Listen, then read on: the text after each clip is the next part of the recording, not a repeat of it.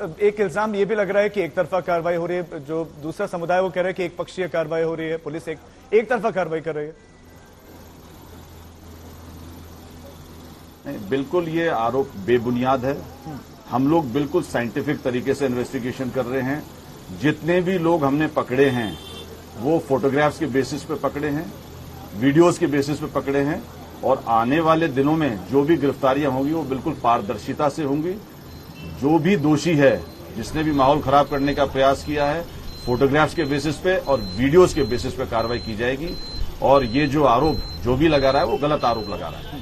Sir एक एक आरोप ये भी लग रहा है कि ये खुफिया तंत्र का फेलर है क्योंकि पॉलिटिकल पार्टीज़ भी कह रहे हैं कि तो खुफिया तंत्र का फेलर है तो क्या पहले इस तरह का इनपुट था कि इस तरह का उपद्रव हो सकता है?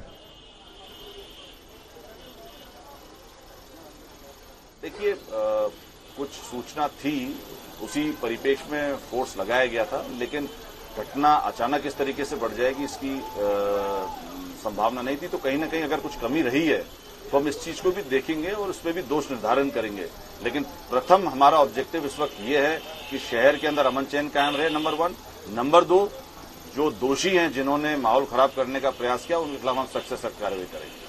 अगर जहाँ तक पुलिस की आ, पुलिस का सवाल है खुफिया तंत्र में अगर कहीं पर कोई कमी रही है तो उसमें भी अगर कुछ होगा तो ज़िम्मेदारी फिक्स की जाएगी। विजय सिंह लखनऊ से भी जो टीम आई है तीन अधिकारी वहाँ से आए हुए हैं। किस तरह से ये पूरी की पूरी टीम साथ में काम कर रही है? कैसे जाँच आगे बढ़ रही है?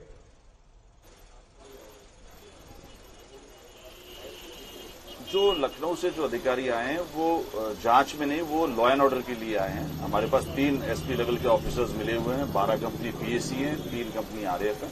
वो लॉ एंड ऑर्डर ड्यूटी में कार्य कर रहे हैं। जो जहाँ तक इन्वेस्टिगेशन और जाँच का विषय है, वो हमारी लोकल कमिश्नरेट की पुलिस ही कर रही है। सर 28 तारीख को 28 तारीख को अनाउंस करता है हाशमी की तरफ़ से अनाउंसमेंट होती है कि प्रदर्शन होगा। लेकिन फिर बात की जाती है और उसके बाद एक तारीख को वापस ले लिया जाता है। किससे बात होती है? और जब उपद्रव हो गया तो उसके बाद क्या उनसे बातचीत हुई कि आपसे तो बातचीत हो गई थी, प्रदर्शन वापस ले लिया गया था तो फिर ये भीड़ इकट्ठा कैसे हो गए और कैसे इतना नुकसान पहुँचाया क्या आपसे यही तो कह रहा हूँ जो इन्हीं सारी बिंदुओं पर जाँच के लिए स्पेशल इन्वेस्टिगेटिंग टीम लगाई गई है और ये सभी पहलुओं पर जाँच करेगी। और जो जिनके नाम आए थे, जैसा मैंने आपको बताया, उनकी गिरफ्तारियाँ हो चुकी हैं, लगातार दबिशें चल रही हैं और अन्य लोग जो इसके अंदर शामिल थे, उनको गिरफ़्तार किया जाएगा। विजय सर, पीएफआई से किस तरह का लिंक अब तक मिला है?